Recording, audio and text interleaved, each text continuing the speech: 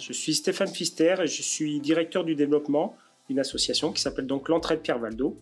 association loi 1901 qui a été créée rue Pierre Valdo à Lyon et qui aujourd'hui remplit euh, trois grandes missions pour des publics euh, en besoin de protection et ou vulnérables. La première mission, c'est l'intégration des réfugiés en France et aussi l'accompagnement des euh, demandeurs d'asile. La deuxième mission, c'est l'accompagnement de personnes précaires ou en besoin d'insertion.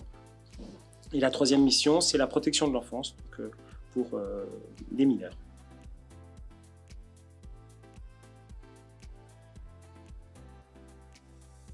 Alors nous sommes euh, ici parce que nous avons euh, été lauréats d'un appel à projet, qui était un appel à projet conjoint du ministère de l'Intérieur, de la Direction générale des étrangers en France, et de la DIR, qui est la délégation interministérielle pour l'accueil et l'intégration des réfugiés en France.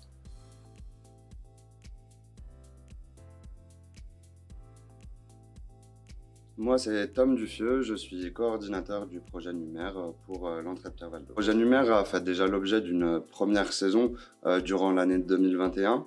et euh, l'objectif de ce projet est de fournir du matériel informatique à 200 réfugiés qui sont hébergés par notre association sur quatre départements différents.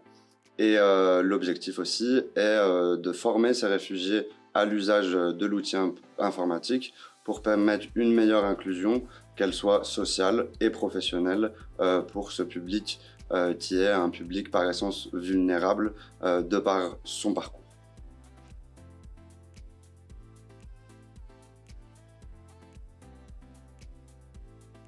Alors chacun des 200 réfugiés va, se voir remettre un ordinateur qui est, fourni par AFB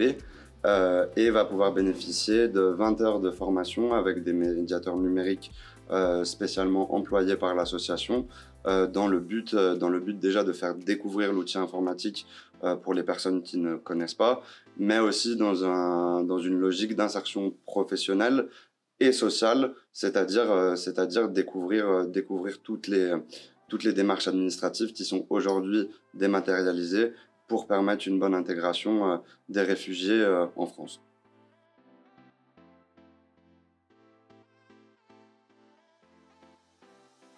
Nous étions très contents du partenariat que nous avions eu dans la première phase du projet, donc le premier projet Numère. Et euh, de façon générale, nous, euh, nous cherchions aussi un partenaire éco-responsable qui puisse nous permettre aussi de travailler euh, l'inclusion, ce qui est aussi une dimension importante du sens que l'on veut donner à notre travail et au service que nous rendons à nos publics.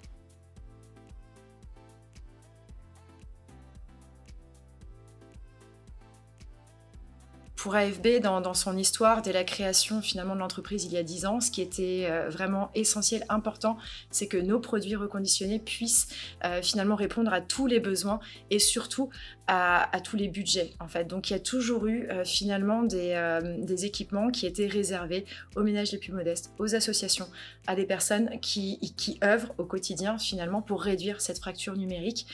qui est souvent, souvent relevée comme une, une problématique majeure. Et je dirais que l'autre élément qui est essentiel dans ce partenariat avec euh, Entraide Pierre Valdo, c'est que finalement, on se rejoint euh, à la fois évidemment sur cette envie de, réduire cette fracture numérique, mais aussi sur ce besoin d'inclusion, sur ce besoin finalement de laisser personne à la marge et d'arriver à monter un projet qui fait sens et où finalement on accompagne chacun, que ce soit dans sa vie sociale, euh, personnelle ou professionnelle.